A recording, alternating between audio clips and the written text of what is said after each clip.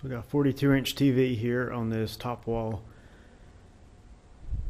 That wall used to be just an open area and it's kind of a black hole. It didn't look very good. So we put the wall up and painted a light color against all the dark stuff in here and it looks so much better. Then about a week ago I got the TV up and the TV digital signage is run by a Raspberry Pi and then I can control it through SSH um, or basically a telnet, which is a sec- secure terminal, and I control that through the register computer. So I don't even have to go access the Raspberry Pi computer. And I've just got a loop of just stuff, random cycling stuff. All the videos, stuff, the footage that I shot, and I'll be adding more as I get time to add more. But so far it works well.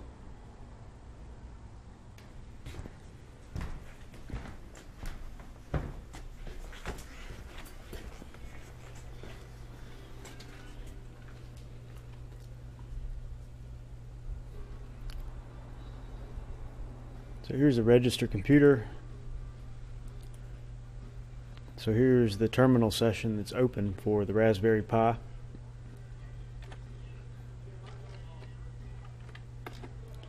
So we've been up seven days, five hours, and 23 minutes, and it's still going. No need to reboot.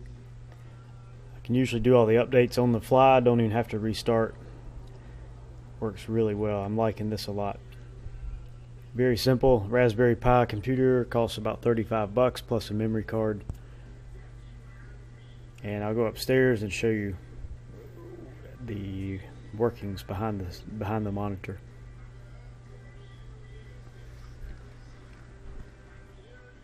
Alright, so now we're up here above the register, and this is the back side of the wall where the TV is.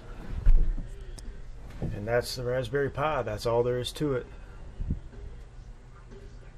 A memory card, that's the main storage and boot drive.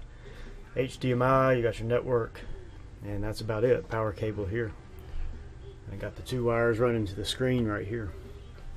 Raspberry Pi runs about 700 megahertz, so it's similar power to a cell phone, but it's adequate to run the HD video. So I'll show you the top program here in Linux. Raspberry Pi runs Linux, a version of Debian Linux. So you can watch the processes and loads. Loads usually between 15 and 60%, somewhere through there.